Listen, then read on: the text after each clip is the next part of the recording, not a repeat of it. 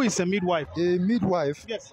is someone who stands, uh, I will say, second Yes. from the first wife. Yes. It's just like a, a spare tire who already has been used Yes. and partially abandoned hmm.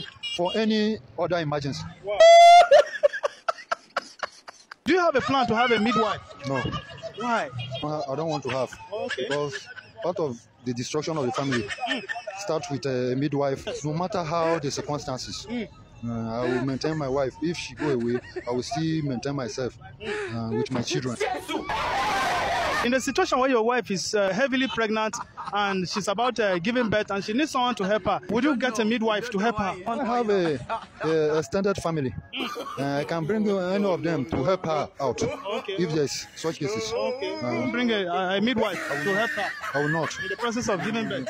In- By so doing, Yes. problems arises. Maybe my wife will feel cheated, or she will, the midwife will feel cheated, and it will cause destruction in the family.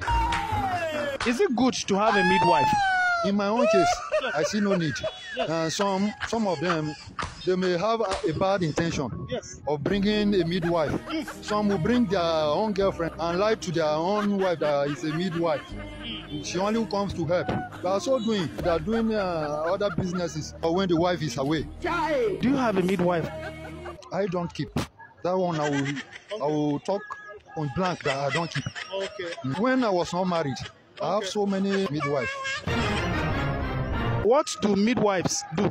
They come in where the wife is lacking. Some people married because their first wife Yes.